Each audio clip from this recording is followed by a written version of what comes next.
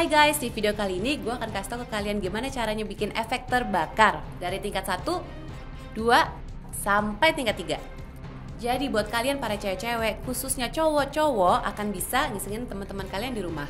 So, it's going to be fun! Kita akan mulai dari luka bakar tingkat 1 Ready?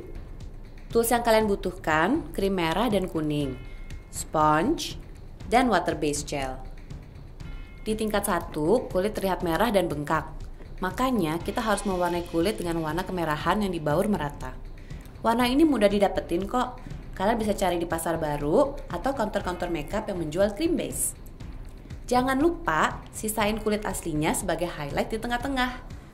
Untuk mendapatkan efek bengkak, kalian harus kasih sedikit gel.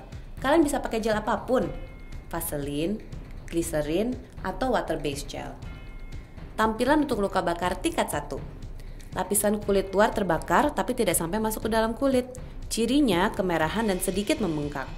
Untuk tampilan luka bakar tingkat 2, yang kalian butuhkan selain hair dryer adalah tisu, foundation warna kulit, latex, spatula, dan loose powder.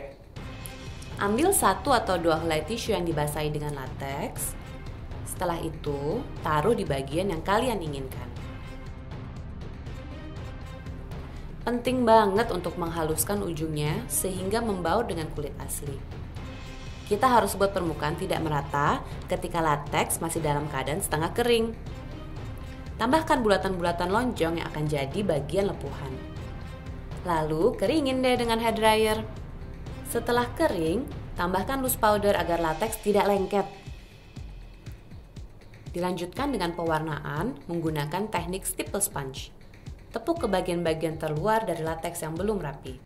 Warnai lateks dengan warna merah dan warna kulit.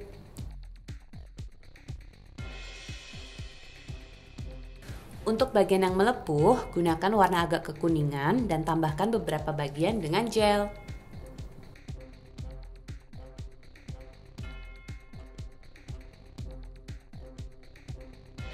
Lapisan kulit pertama terbakar hingga ke lapisan kulit kedua.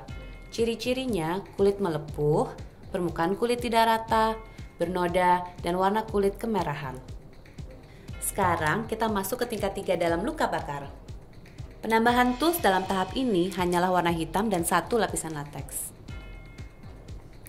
Di tahap ini, kita akan menciptakan ilusi kulit terkelupas dan terbakar sampai dalam.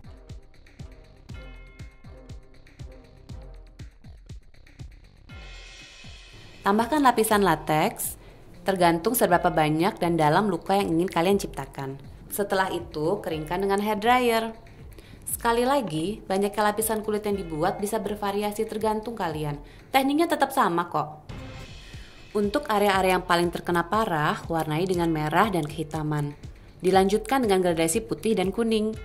Bagian-bagian yang berwarna merah dibasahi dengan gel untuk efek melepuh yang lebih mendalam. Di tahap ini, semua lapisan kulit terbakar sampai mengenai lemak, otot, atau tulang. Area berwarna kitaman kering dan putih. Oke guys, jadi tadi adalah cara gue membuat efek terbakar dari tahap 1, 2, dan 3. Selamat bereksperimen, have fun, and good luck. Gue akan share lebih banyak special effects makeup di video berikutnya.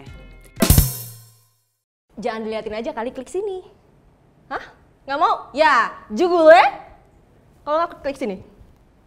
Oke? Awas ya kalau nggak klik.